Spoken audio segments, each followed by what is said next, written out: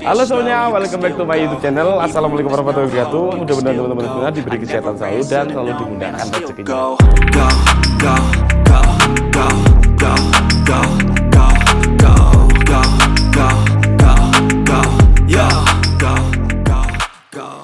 Nah oke, okay, jadi di video kali ini Bang Chun sekarang lagi mau nerusin project uh, mobil kijang yang kemarin. Nah oke, sekarang kita udah mau mulai persiapan untuk perakitan. Dan udah kita siapkan dan eh, untuk perangkat-perangkat yang lain udah kita tempel di mobilnya. Nah ini sebagian interior yang udah kita modifikasi dan udah kita otak-atik eh, dari joknya. Untuk joknya ini kita pakai Honda CRV tadinya warnanya coklat ya kemarin ya jadi udah kita ganti yang seperti ini. Jadi warnanya hitam pekat. Wih pokoknya keren banget. Jadi ini nanti kita eh, bikin Captain Shift ya. Jadi apa ya? Eh, joknya satu-satu. Dan di tengah tuh ada konsul yang wih keren banget. Terus dashboard juga ini kemarin kita cat ulang. Jadi ini tuh dashboard tuh warnanya kalau rata-rata kijang tahun 2003 sampai 2000 yang berapa ya? Pokoknya kurang paham juga karena kijang tuh generasi yang ini itu lumayan lama soalnya. Jadi itu warnanya kan kalau kalian lihat tuh warnanya abu-abu ya. Sekarang udah jadi hitam. Nah, seperti ini. Dan udah keren. Terus ini untuk pilar. Nah, ini pilarnya itu kita bikin yang simple ya, hanya untuk Twitter aja. Jadi biar apa ya? Biar kelihatan enak dilihat karena ini kita bikin yang suara tuh suara SQ ya jadi nggak terlalu kenceng-kenceng tapi di dalam tuh nyaman oke terus oke ini dia ini setir untuk setir kita ganti juga untuk setir kita pakai yang Toyota ya biar nyambung sama mobilnya coba ini mobil apa komen di bawah ya Nah ini mobil Avanza Veloz. Jadi rencana mau tempel di sana dan rencana kita mau tambahkan remote steer juga. Ini Bang John masih eh, nyari ya. Ini kan belum ada remote steernya, jadi kita mau pakai remote steer biar kayak mobil-mobil baru. Jadi modifikasinya tuh super kalau ini. Lumayan lumayan nguras otak juga soalnya. Terus untuk ini ini speedometer. Ah, untuk speedometer kita gunakan yang orinya aja ya. Karena unik juga soalnya eh, apa itu jarumnya warna kuning ya. Ya biar tetap ada klasiknya enggak. Jadi enggak semuanya kita ganti. Nanti tergantung kurang pasnya di mana lah nanti gampang. Dah, kayaknya yang di sini cuma segini dan kita mau lihat mobilnya ke depan. Yuk, ini mobil yang kemarin itu warnanya hitam dan velg juga udah diganti. Kita lihat ke dalam. Nah, Oke, jadi untuk perangkat yang lain karena kita nggak belum sempat ngesut juga kemarin. Oke ya. Jadi untuk konsol udah kita tempel di sini untuk bagian konsol sendiri ini kita bikin yang super elegan ya. Warnanya hitam semuanya. Untuk di sini ada dia ada subwoofer eh, kolong tapi nggak kita simpen di kolong tapi di samping sini. Dan ini dalamnya itu udah full peredam. Jadi apa ya? Eh, nggak ke- nggak geter. Jadi mobil ini tetap kelihatan nyaman. Kalau di bawah jok kemarin kita ada ide juga tapi kayak kurang apa ya karena ini ada space lokasi. Jadi kalau kita Mas Bro ini dulu. Jadi ini kalau kita ditaruh di bawah jok kayak kita punya lokasi yang lumayan cukup rekomen ya. Jadi di sebelah sini karena ini di sebelah sini ada jok-jok juga.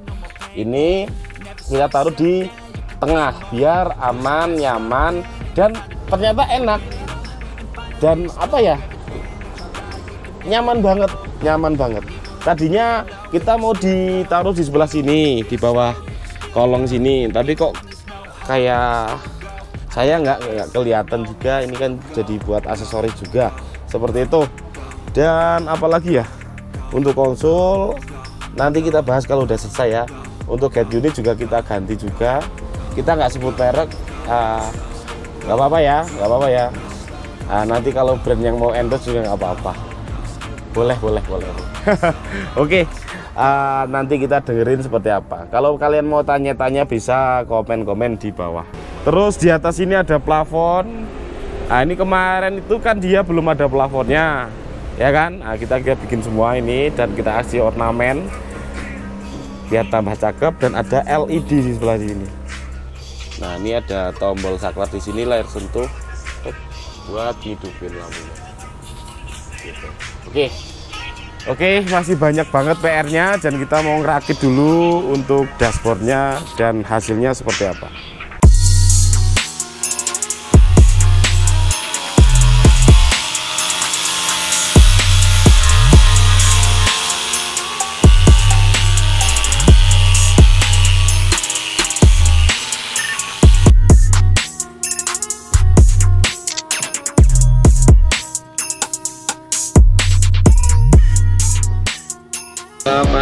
pasangkan speedometer dulu.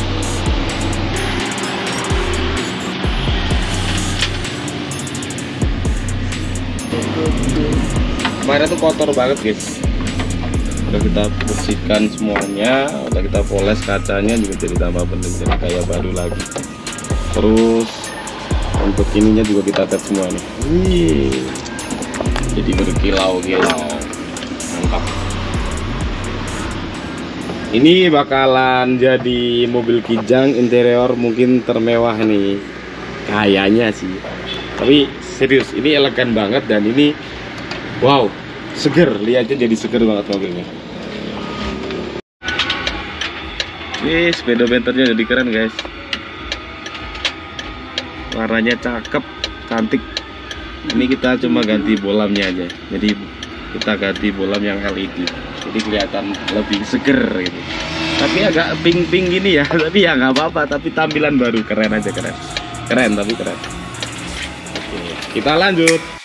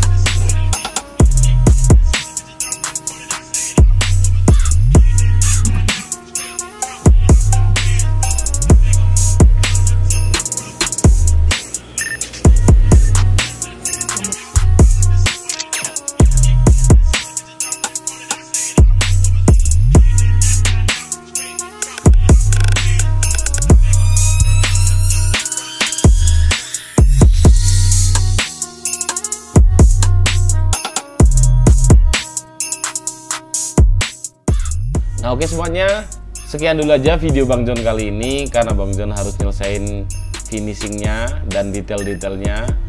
Nah untuk video selanjutnya kita akan bahas tuntas untuk mobil kijang yang satu ini.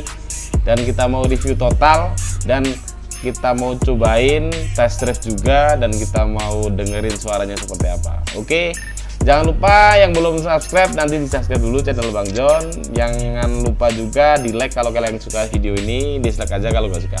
Thanks for watching. See you next time. Wassalamualaikum warahmatullahi wabarakatuh. Dadah